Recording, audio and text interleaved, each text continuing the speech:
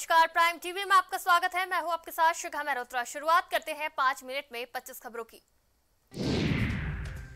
एक बार फिर बढ़े कोरोना के नए मामले। 24 घंटे में अठारह नए केस आए सामने।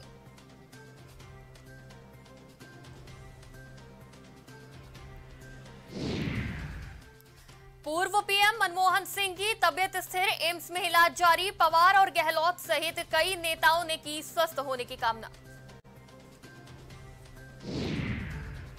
आर्यन खान के साथ सेल्फी लेने वाले शख्स के खिलाफ लुकआउट नोटिस जारी, ड्रग्स केस में है गवाह।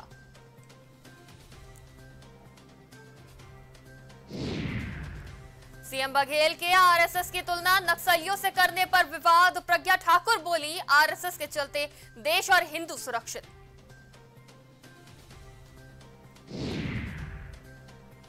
हिमाचल प्रदेश के किन्नौर ज़िले ने कायम किया रिकॉर्ड। 100 फ़ीसदी वैक्सीनेशन वाला बना पहला जिला।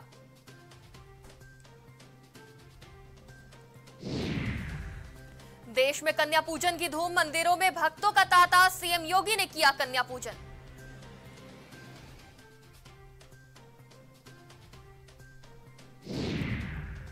अलीगढ़ में रफ्तार का दिखा कहर, टेंपो में ट्रक ने मारी टक्कर। कई लोग घायल।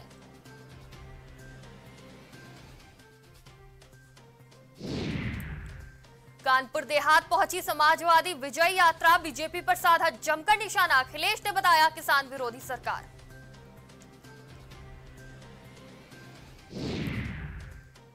लखीमपुर खीरी में एक तरफा कार्रवाई से हिंदू संगठन नाराज़। कार्यकर्ताओं ने किया जोरदार प्रदर्शन।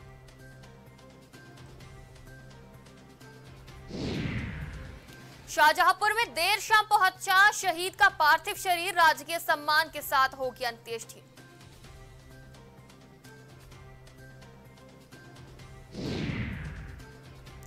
चीन के शिजियांग में फिर बढ़ रहे कोरोना के मामले। गुलजा शहर में लगा लॉकडाउन।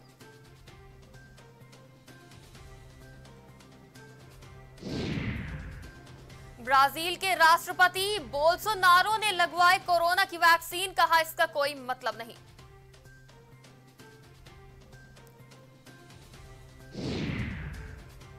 हार्वर्ड विश्वविद्यालय ने चीन को दिया झटका। बादशाह कार्यक्रम बीजिंग से ताइपे किया स्थानांतरित।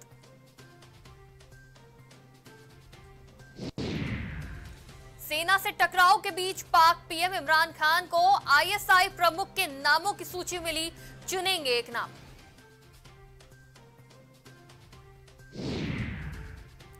अफ़गानिस्तान की वजह से पाकिस्तान अमेरिका के रिश्तों में कड़वाहट नहीं, अमेरिकी चुनाव में पक्षपात से बाइडेन नाराज़।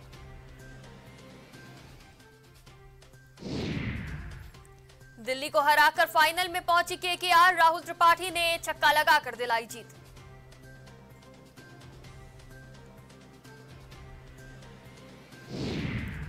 गेंदबाजों के दमदार प्रदर्शन के बाद वेंकटेश अय्यर का कमाल, दिल्ली को हराकर फाइनल में पहुँची Kolkata Knight Riders.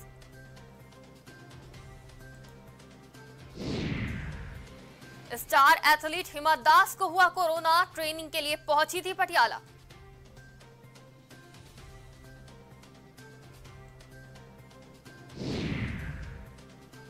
आईपीएल 2021 में आरसीबी के स्टार खिलाड़ी रहे ग्लेन मैक्सवेल, बनाए सबसे ज़्यादा रन और लगाए सबसे ज़्यादा चौके छक्के। इंग्लैंड के गेंदबाज ने कहा, उनकी टीम टी विश्व कप के दौरान घुटनों पर बैठकर करेगी खास मुहिम का समर्थन।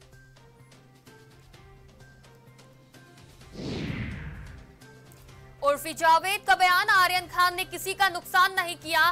नेता और धार्मिक गुरु दुष्कर्म करते हैं, फिर भी लोग उन्हें पूजते हैं। नागा चैतन्य से तलाक के बाद सामंथा का पहला public appearance photo viral.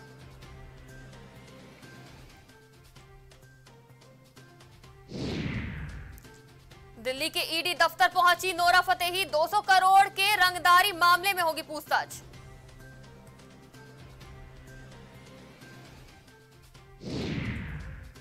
Jacqueline Fernandes को ईडी का summon Sukesh Chandrashekhar, money laundering मामले में होगी पूछताछ।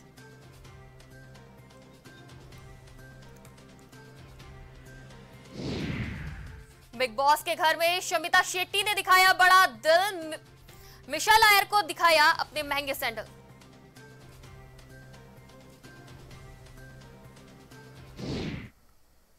पाँच मिनट में पच्चीस खबरों में फ़िलहाल इतना ही, आप देखते रहिए प्राइम टीवी।